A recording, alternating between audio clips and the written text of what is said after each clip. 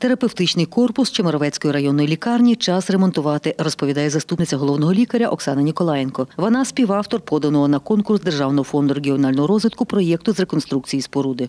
Вікна вже вкрай зношені. Ми їх кожного року обклеюємо. Зношені інженерні мережі в підвальних приміщеннях. Дах весь прогнив. Про вартість проєкту говорить його автор, архітектор Вадим Грабовський. Загальна сума проекту 15 мільйонів 287 тисяч гривень.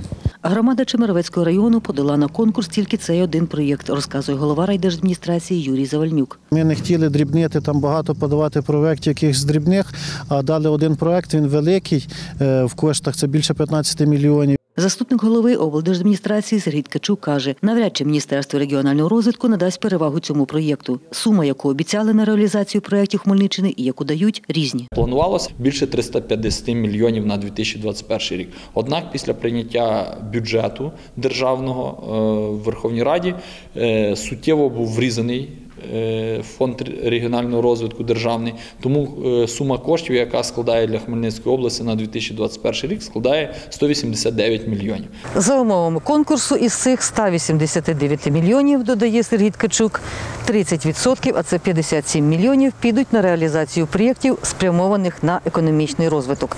Таких на Хмельниччині, за його словами, є 5. Два з них подали працівники головного управління Держпродспоживслужби в області.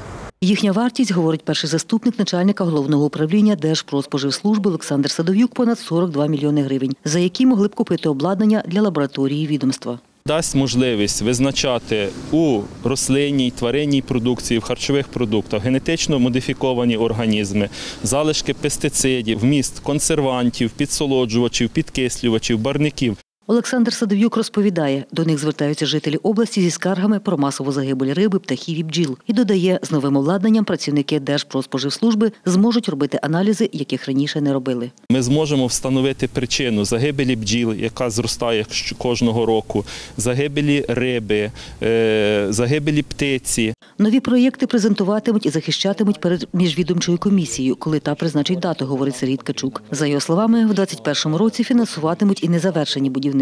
В 2020 році в нас фінансувалось 23 об'єкти перехідних довгобудів, такі, які можуть фінансуватися третій, четвертий рік фінансування за кошти ДФРР, залишилось 7. Один із довгобудів, який планують здати в експлуатацію, Чемеровецький стадіон, будівництво якого розпочалося в 90-х роках минулого століття, розказує Юрій Завальнюк. У 2020 році надійшло з державного бюджету 12,5 мільйона гривень. З місцевого бюджету районної ради надійшло близько півтора мільйона гривень. Продовжувалася реконструкція. Всередині приміщення обладнують роздягальні, санвузли й душові. Директор стадіону Віталій Думський каже, до карантину тут проводили матчі чемпіонату і Кубку району 20 чоловічих футбольних команд, гравці яких після змагань не мали де помитися і переодягалися обіч поля. За його словами, футболісти з нетерпінням чекають цивілізованих умов. Да, дуже. Вже готовляться до сезону. Світлана Поробок, Олександр Горішевський. Новини на Суспільному. Хмельниччина.